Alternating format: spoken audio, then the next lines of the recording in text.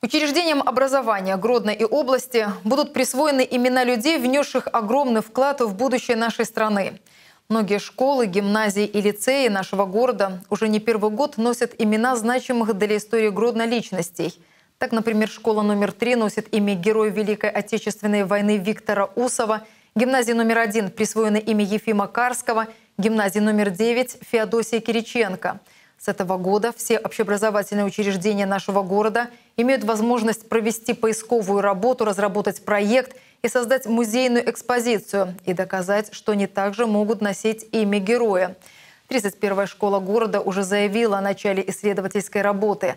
Среди заявленных имен, за которые будут бороться учреждения образования, писатели, космонавты, герои Великой Отечественной войны, личности, которые прославляли Гродно.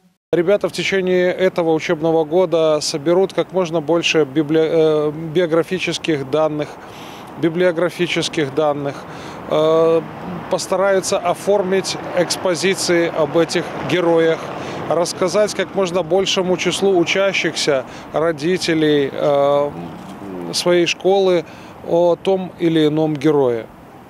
В конце учебного года, ориентировочно в мае, комиссия городского отдела образования посетит экспозиции, проведет э, встречи с учащимися, э, послушает э, ребят, которые расскажут и э, о проведенной работе, расскажут о собранных материалах. Многие школы решили присвоить себе имена, которые носят улицы, на которых расположены учреждения образования.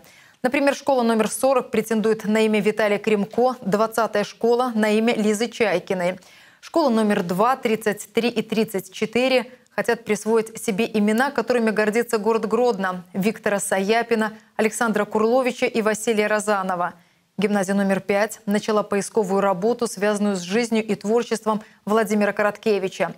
Лицей номер один и гимназия номер семь выбрали для себя имена белорусских космонавтов Олега Новицкого и Петра Климука.